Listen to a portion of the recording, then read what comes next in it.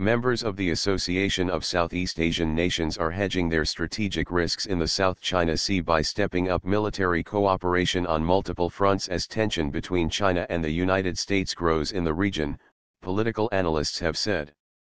The assessment follows Monday's decision by the Philippines to join a regional military exercise involving China and other ASEAN countries later this month, and comes days after a Chinese destroyer and an American warship came within meters of colliding in the South China Sea. The drill, from October 22 to 29, would be Manila's first military exercise with Beijing, and will form the second phase of a tabletop maritime exercise China held in August with several ASEAN nations in Singapore, in which they focused on simulating joint search and rescue operations under the Code for Unplanned Encounters at Sea. The upcoming naval drill will be held in waters off Zhanjiang City, in southern China's Guangdong province, after Chinese and ASEAN officials agreed not to stage it in areas that are the subject of territorial disputes. The Philippines' participation can be seen as a marked change in Manila's stance towards China regarding the South China Sea since Rodrigo Duterte became president.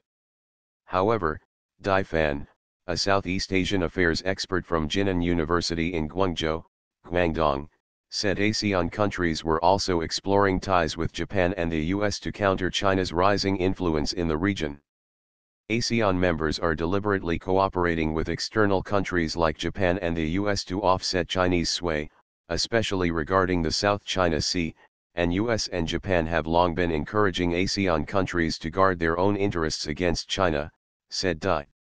Manila and Washington have stepped up cooperation, agreeing to hold 281 joint drills in 2019, up from 261 this year.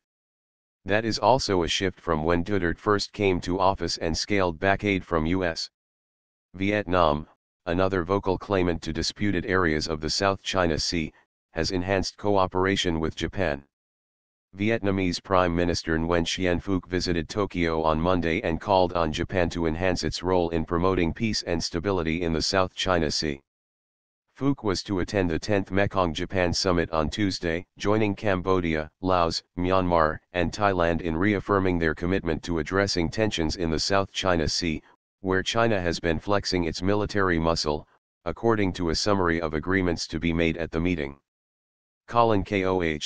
a research fellow at the S. Rajaratnam School of International Studies with Nanyang Technological University in Singapore, said the strategic hedging of ASEAN countries could give the bloc more room for autonomy and leeway when major world powers are at odds.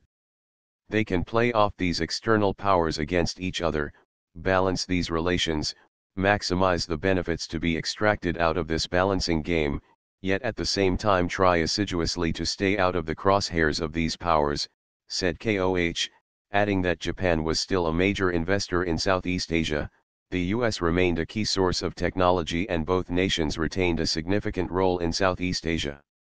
The Philippines filed and won a case against China over its claims in the South China Sea at an arbitration tribunal in The Hague in 2014.